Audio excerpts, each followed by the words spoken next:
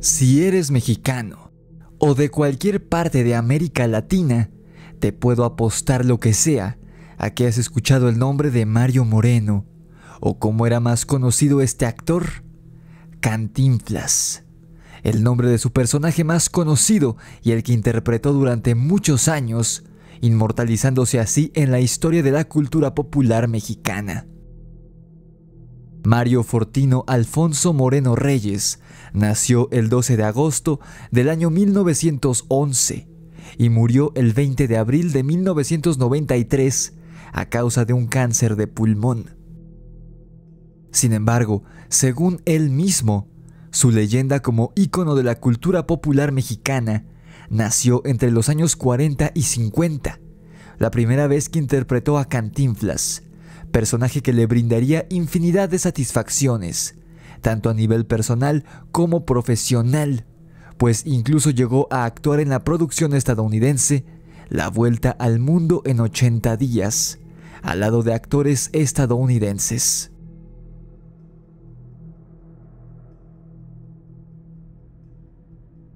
Y también el personaje le trajo al actor fama y fortuna a manos llenas.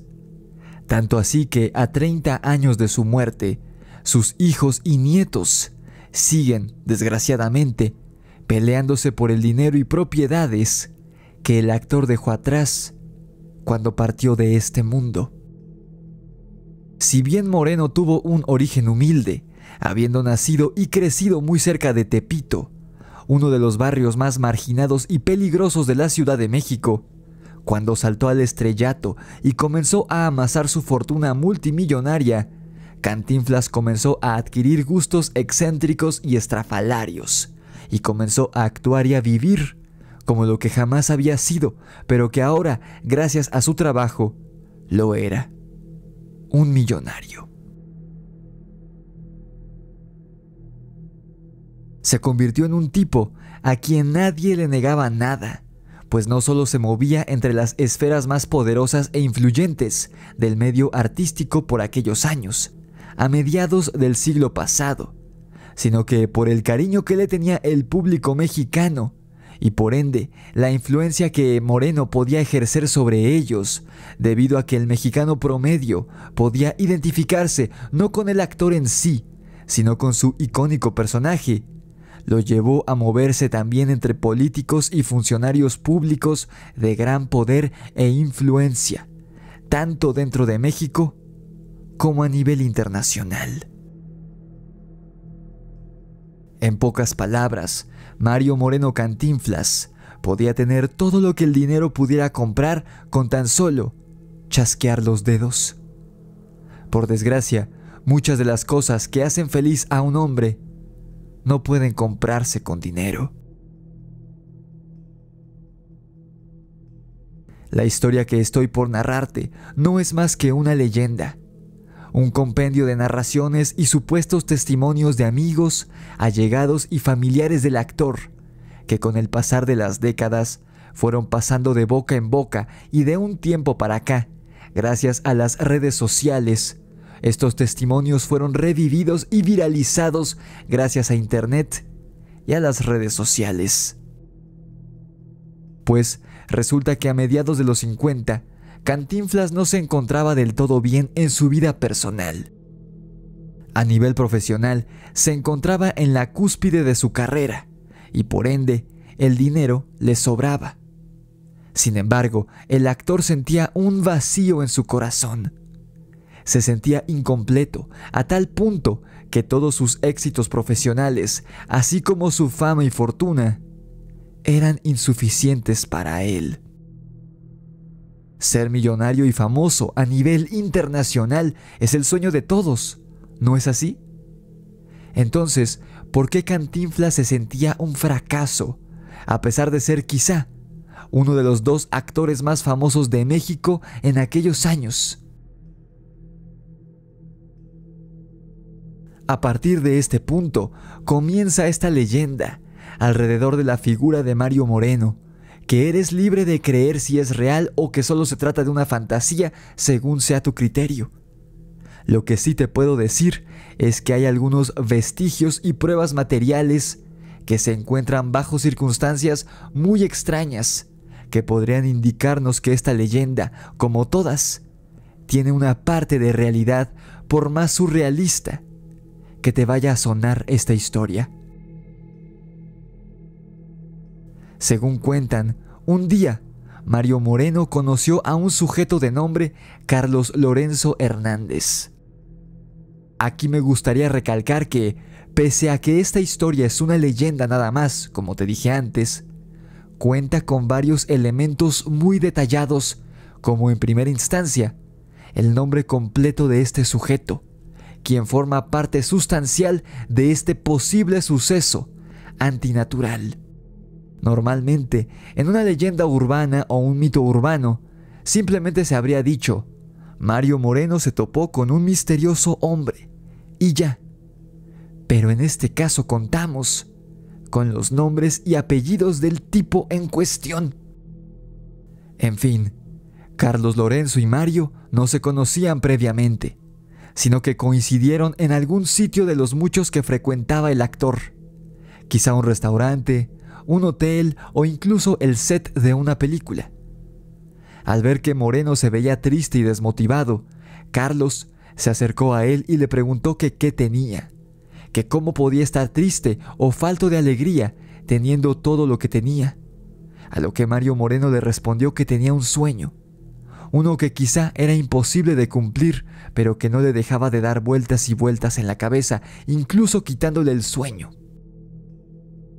Cuando Carlos le preguntó que de qué se trataba este sueño imposible que el actor quería haber cumplido, Moreno le respondió que, como gran amante y admirador del mar, siempre había tenido como un sueño ver a una sirena, pues él estaba convencido de la existencia de estos seres mitológicos. Cualquier otra persona se hubiera reído, creyendo que este comentario había sido solo un chiste o una ocurrencia del actor y cómico. O bien, si hubiera sido un amigo muy cercano al que el actor le tuviera muchísima confianza, le hubiera dicho que se dejara de tonterías y que mejor conquistara a una mujer real, pues teniendo el dinero y la fama que Moreno ya tenía para ese entonces, podría tener a la mujer que él quisiera a su lado. Pero, cuando dijo que su sueño era ver a una sirena, Mario Moreno no estaba bromeando, y Carlos Lorenzo Hernández lo notó de inmediato. Y no solo no mentía, sino que Cantinflas realmente estaba ofuscado y afectado negativamente en cuestión emocional, al saber que este sueño que tanto deseaba y lo aquejaba, probablemente jamás se vería cumplido, y esto lo frustraba de sobremanera. Y lo peor de todo era que, ni con todo su dinero ni su fama, podría cumplir dicho sueño. Y por su parte, Carlos Lorenzo no se mostró condescendiente al estar ante un personaje del tamaño de Cantinflas, ni cambió el tema, ni nada parecido. De hecho, parecía como si el destino hubiera querido que Mario Moreno estuviera en ese lugar en ese preciso momento, y que así pudiera coincidir con este tal Carlos Lorenzo Hernández, pues este último pareciera ser la única persona sobre la faz de la tierra que podía volver realidad el deseo de Mario Moreno de poder ver a una sirena real con sus propios ojos. O quizá Carlos Lorenzo no era un simple hombre, no era lo que decía ser. Quizá este tipo era algo más. Y él sabía que Cantinflas estaría ahí, en ese lugar, ese día, a esa hora. Y sabiendo que habría hecho lo que fuera con tal de ver a una sirena, no tendría más remedio que acudir a él específicamente. Tal vez todo fue un plan de este tal Carlos Lorenzo Hernández. ¿Qué o quién era este Carlos Lorenzo Hernández? Esa es parte del enigma que nos atañe el día de hoy. ¿Y por qué este es uno de los sucesos más oscuros y perturbadores que rodean a una figura del espectáculo de nuestro país? A una de las más grandes, de hecho. Así que jamás sabremos si este tal Carlos Lorenzo quería ayudar a Mario Moreno por su buena voluntad o si lo hacía por otra cosa. El punto es que, muy serio, Carlos le preguntó a Moreno que qué estaría dispuesto a hacer con tal de ver a una sirena, a lo que el actor igualmente serio y decidido le dijo que haría lo que fuera. Como si la respuesta recibida fuera la que Hernández esperaba, le dijo que lo vería en cierto hotel lujoso de la Ciudad de México en tal día y Mario Moreno aceptó encantado la invitación. El día de la cita llegó y ambos se reunieron en el hotel pactado para charlar. Cantinflas no sabía si realmente Hernández iba en serio a ayudarlo a cumplir su loco deseo, si pensaba burlarse de él, si pensaba estafarlo, o si simplemente estaba fingiendo ayudarlo para poder pasar tiempo con él, pues quizá era algún fanático o algo por el estilo. Por eso, Mario Moreno se sorprendió tanto cuando Carlos Lorenzo le entregó una roca muy peculiar como ninguna que él hubiera visto antes. No era una piedra preciosa, sino más bien algo similar a un cuarzo y lo otro que le dio Carlos en aquella ocasión no fue un objeto, sino una orden a Cantinflas.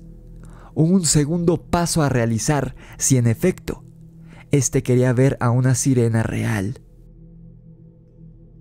Aquello que el hombre le dijo al actor fue que adquiriera una casa en Acapulco, lo más cerca del mar que le fuera posible, y que esta casa, sobre todo la parte que colindara con el mar, la llenara con estatuas e imágenes de animales y criaturas marinas, pero sobre todo, y lo que parecía ser el punto clave en esta serie de pasos a seguir, era que Mario Moreno debía construir una estatua de su personaje Cantinflas, de gran tamaño, mirando específicamente hacia el mar.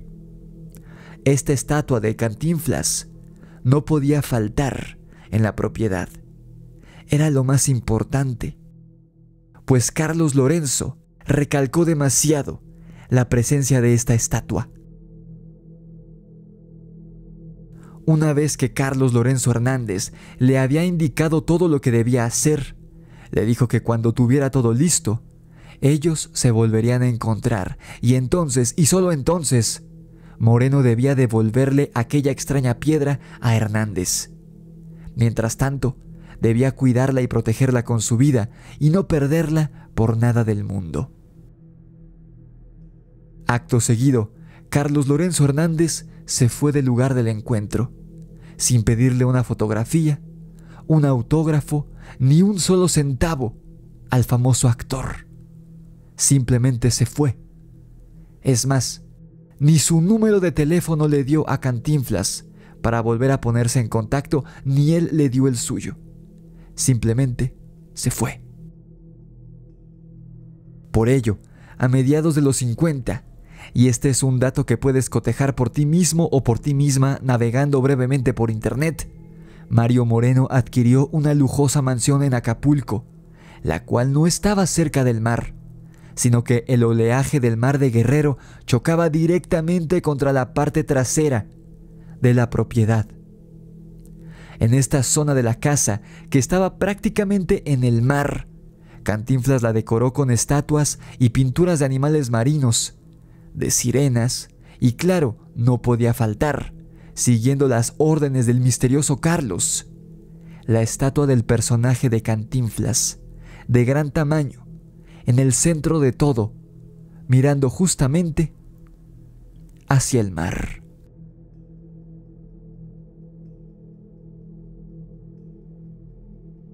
Antes de pasar a la parte más interesante de este relato, por favor dale like al video y suscríbete a mi canal si te está gustando mi contenido. También suscríbete a mi canal secundario aquí en YouTube, Rix y los Amos del Multiverso. Si quieres tu ejemplar de mi libro de terror, La Orden de Kamazots, disponible en Amazon con entregas a todo el mundo, solamente haz clic en el enlace que te dejé en la descripción del video y pide tu ejemplar. También sígueme en Instagram, Facebook, Spotify y TikTok. Y si tienes una experiencia paranormal que quieras que cuente en el canal, envíamela a necronomiconrelatos.gmail.com o a mi número de WhatsApp, el 5638000345. Ahora, sigamos adelante. Y un buen día que Cantinflas se encontraba en su mansión nueva de Acapulco, recién terminadas las adecuaciones y obras pertinentes dentro del inmueble, finalmente Carlos Lorenzo Hernández, sin previo aviso, regresó a la vida del actor, después de varios meses desde su último encuentro. Cuando el hombre tocó a la puerta de la casa del actor eran las 2 de la mañana en punto. Sin explicarse cómo Hernández había llegado hasta la puerta de su mansión en una zona tan exclusiva y con tanta seguridad en aquella época, Cantinflas lo hizo pasar y sin perder tiempo, Carlos Lorenzo lo apresuró hacia la parte de la casa que daba hacia el mar. Y ahí finalmente, Mario Moreno Cantinflas no pudo ver a una, sino a muchas sirenas que emergían del mar y se detenían en su propiedad, como abejas atraídas a la miel.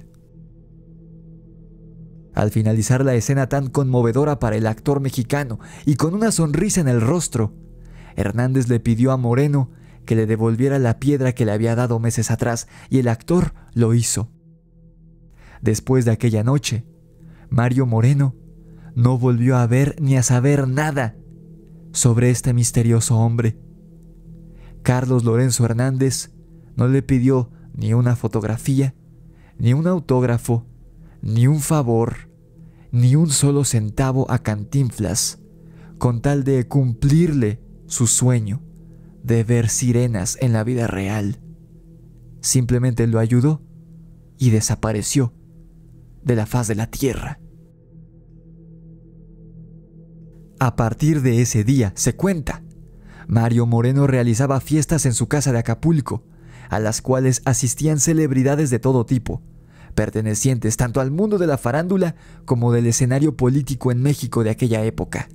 Y la atracción principal de estas fiestas eran, a las 2 de la mañana, invocar, por decirlo de alguna manera, a las sirenas que emergían del mar de Acapulco y que siempre llegaban a la casa de Cantinflas, ante la atónita mirada de sus invitados y convivían con ellos. Hoy en día, lo que alguna vez fuera la lujosa mansión del fallecido ícono mexicano se encuentra en ruinas completamente. Aunque curiosamente, hay un único elemento que permanece en muy buen estado, pese a que se encuentra a la intemperie, bajo el inclemente y radiante sol de Acapulco, a merced del oleaje del salvaje mar y de las frecuentes lluvias de este estado, y aún así, a diferencia del resto de la casa, que está completamente destruida, este elemento sigue en pie. La estatua de Cantinflas, que de hecho casi ni se ha despintado, a pesar de que lleva ahí más de 60 años al aire libre, sin mantenimiento de ningún tipo. Y eso no es todo al estar en completo abandono, la que una vez fuera la mansión de lujo de Cantinflas, y al estar al aire libre, resulta increíble y casi improbable que la estatua del actor siga en pie y en una sola pieza, aun con mucha de su pintura original. Pero más increíble aún es que muchos locales de Acapulco que llegan a ver la casa de Cantinflas afirman que por las noches la estatua cobra vida y se arroja al mar, solo para volver a su lugar de siempre, antes del amanecer. Además, estas personas que están al pendiente de los macabros y paranormales sucesos que ocurren en las ruinas de la casa de Cantinflas, afirman que ciertas madrugadas las sirenas vuelven a este sitio en ruinas, pues buscan a quien alguna vez las tratara tan bien hace ya medio siglo. Buscan, se cree, sin saber que ya falleció, a Mario Moreno Cantinflas.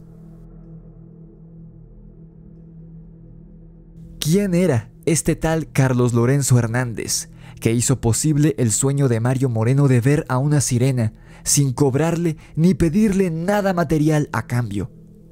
Realmente eran sirenas las que acudieron y, según los locales, siguen acudiendo a la mansión de Cantinflas. ¿Qué era esa piedra que el misterioso Carlos Lorenzo le dio a Cantinflas? ¿Cómo sabía este hombre que había sirenas en el mar de Acapulco? ¿Por qué en Acapulco? ¿Por qué no en cualquier otra costa del territorio mexicano? Todas estas son enigmas que Moreno se habrá llevado a la tumba para siempre.